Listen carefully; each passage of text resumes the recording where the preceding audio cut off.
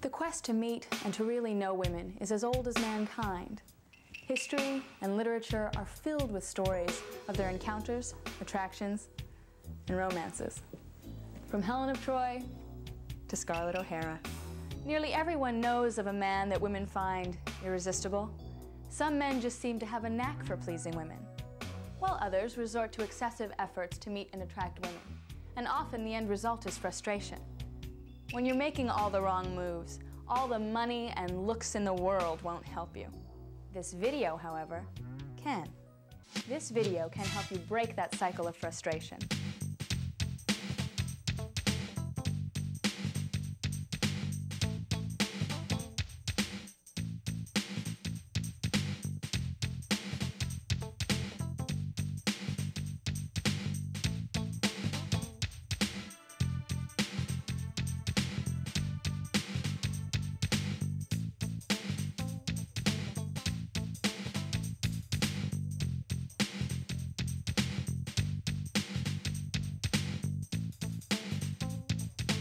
The Total Man's Guide to Meeting Women offers insight into meeting women. It is an art that few master. Those who do, however, tap into the complex forces and attractions that bring men and women together. While each man will develop his own skill set or approach to meeting women, the information presented in this video can help alleviate the failure and frustration many men encounter when seeking to meet interesting women. The result is a more exciting and rewarding life. You will also learn how not to be afraid of women, to listen when a woman talks, how to feel more comfortable on a dinner date, and how to present yourself at your very best. Single women of the 90s have a new attitude towards men and careers. Still, many women embrace the traditional ways. When meeting a woman, it never hurts to have a sharp instinct as to what a woman values. A sharply honed instinct, in fact, can be invaluable. You can develop this and strengths in other areas, and that is where this video comes in. There's never been a better time for meeting women, because women too are just as interested in meeting men. We're going to talk to some women right now and find out their views about meeting men.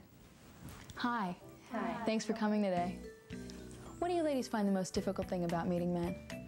I think it's really hard to find a quality guy who has the same types of values that I have. Mm-hmm.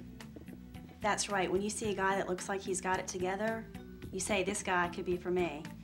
And then you realize when you talk with him that he's boring and all he wants to do is talk about himself. You know what I hate is when a guy really plays himself up and he makes himself sound so interesting, and then after a few days you find out he's none of the things he said he was. What do you find most interesting about a guy? What initially attracts you to him? I like a guy that's clean cut, but he's not so perfect that he can't have a hair out of place. Well, after I check out the full body view, the next thing I look at is his hands, and I love a man with really nice hands. I like a guy who keeps in shape. He doesn't have to be a bodybuilder or anything, but he definitely has to care about his body. What do you look for in a guy in uh, the first date? I think maybe how he handles the conversation is really important. That's right, I like a guy who can talk about a lot of different subjects like movies or sports or whatever and just keep the conversation going. To me, it's important that he be genuinely interested in what I have to say because a lot of times a guy will ask you a question, but then when it's time for you to answer, you can tell that he really doesn't care. People seem to be marrying later than they used to. So more singles than ever are seeking new ways to meet members of the opposite sex. Like joining a dating service, for instance. But meeting women is just half the battle.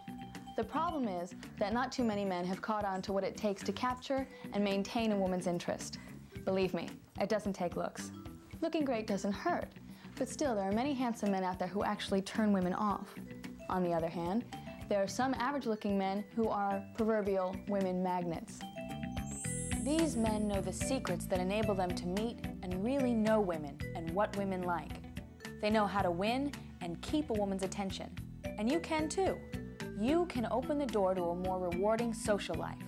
All it takes is effort, a smart approach, more complete personality development, better fitness and grooming habits, and knowing where and how to meet women.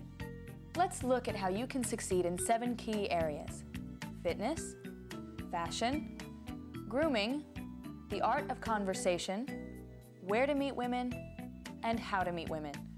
As you gain more progress in these areas, that all important seventh factor, confidence, will begin to give you more self esteem. It's an old saying, but it carries a lot of truth. Nothing succeeds like success. And interestingly enough, the seven key areas overlap. Joining a health spa, for instance, not only helps you improve your conditioning, it provides a setting for meeting women. So let's begin by taking a look at how you can improve your body, your health, and your social life. We are visual creatures, and there's no doubt that what usually first attracts us to a person is their appearance. Being in shape does a lot for your appearance, and it definitely plays a role in attracting and meeting women.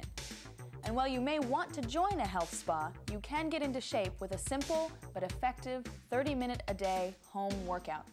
A lot of men don't like going to a gym to work out because they're not in shape.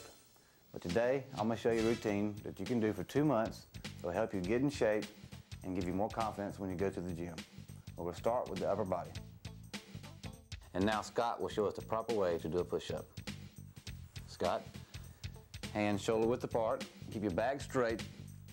Up, go down, touch your nose and come back up. Make sure you keep the body straight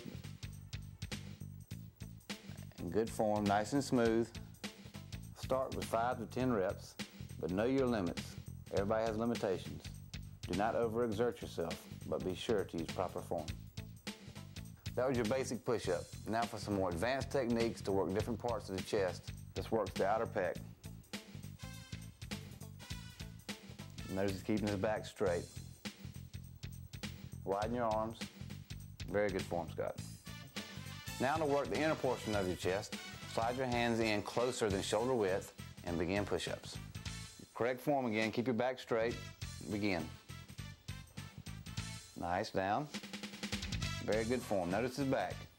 Now remember, start with five to 10 reps and slowly increase as you feel stronger and more comfortable with the exercise. Breathing is one of the most important aspects of this exercise. Exhale as you exert yourself and inhale as you go down. Now I'm going to show you an abdominal workout. We'll do upper, lower, and obliques. Now we start with the upper. Scott, show him the correct form. Raise up. As he goes up, when you come down, shoulder blades touch, you go back up.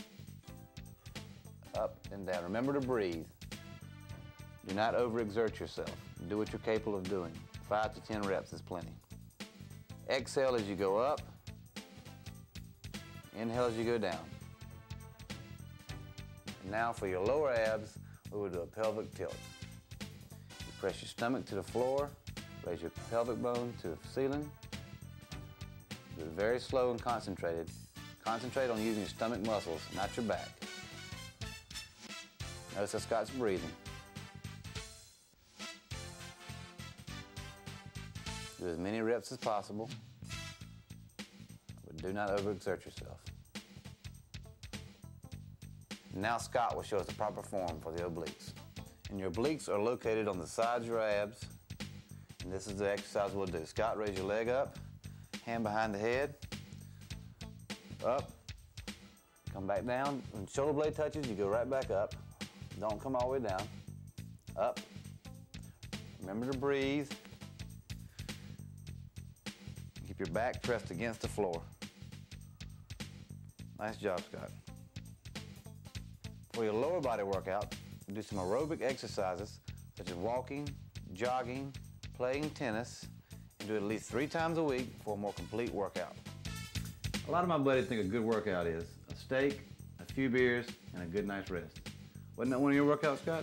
That was a long time ago, Brad. Since then, I've learned to combine diet, exercise, a good mental attitude, and I've learned how to eat smart. And eating smart is actually a lot easier than it sounds. You're always hearing this is good for you and that's good for you, but don't eat too much of this and don't eat too much of that. It can get very confusing.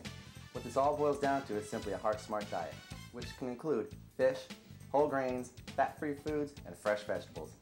Scott, you know, too many people get caught up in these fad diets, and they never work. All it takes is sensible eating and a little bit of exercise. That's right, Brad, they don't. And there's no need to cut down on calories. Just redistribute them. Eat early and in small portions throughout the day. Something else you might want to try is working out late in the evening. Pre-dinner workout helps suppress your appetite, which will help you control your weight. Anaerobic activities such as lifting weights will help build up your muscles and increase your muscle mass.